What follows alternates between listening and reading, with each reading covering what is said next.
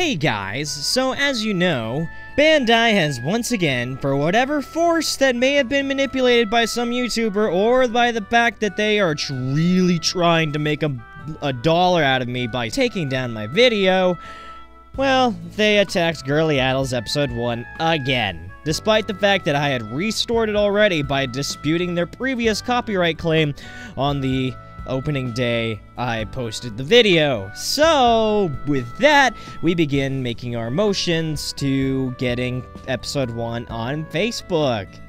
So, without further ado, we're just gonna go post this link right here. You just click on that and it'll take you to the Facebook link that, uh, that holds the episodes. Any comments, all your likes and all can go on here because you can't exactly do that on that video and all that good stuff. And, uh, yeah, so that's pretty much it. Um, they, they just really wanted to push the trump card that early. Okay.